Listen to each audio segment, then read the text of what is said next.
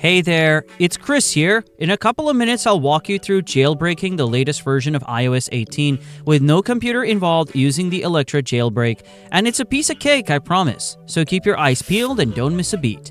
By the end of this video, you'll have a fully untethered Sileo installed on your device, running any version of iOS 18. I'll also show you how to install cool tweaks like getting a very impressive quick launch menu like this, or a cool Underdock options like this to speed up your typing experience. Okay, let's get the show on the road. First, let me show you the current iOS version on my iPhone. As you can see, it's the latest version of iOS 18.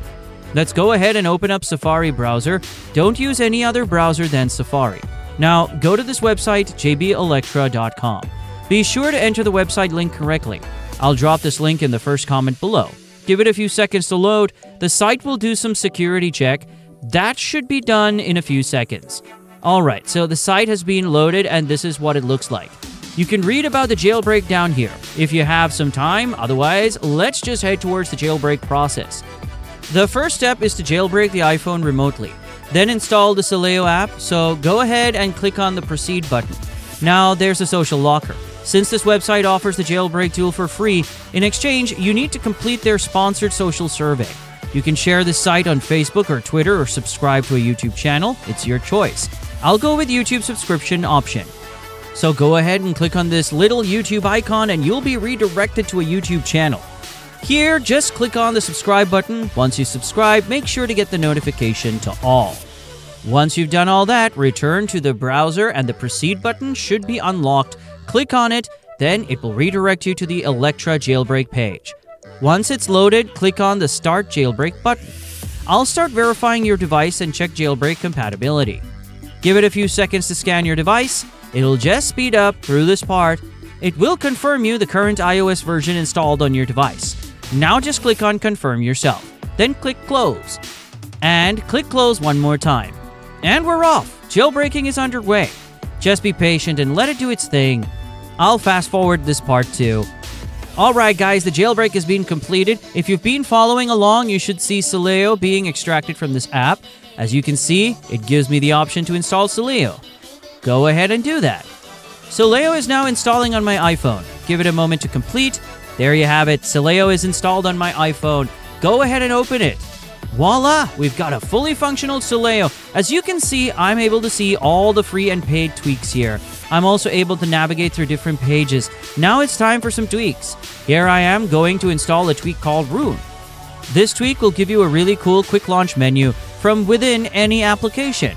Rune attempts to make accessing certain features on your iPhone easier and less cumbersome by introducing an easily invoked interface that can be summoned with a swipe up from either the bottom left or bottom right of your display. Just go ahead and install the tweak. Once installed, you need to respring your device. Alright, now just give it a moment to complete the respring process, and there it is. Go ahead and unlock your iPhone. Alright, now when you're within any app, all you need to do is just swipe up from bottom right and it'll bring in this multi-page menu.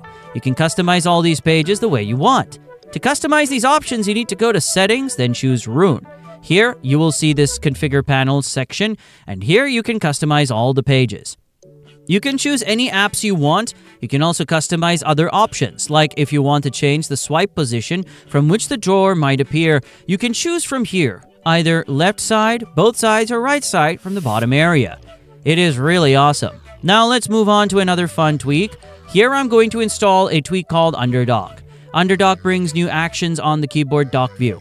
The native keyboard on iOS provides some fundamental features, but its functionality can be significantly enhanced through jailbreak and the utilization of tweaks like the recently unveiled Underdock.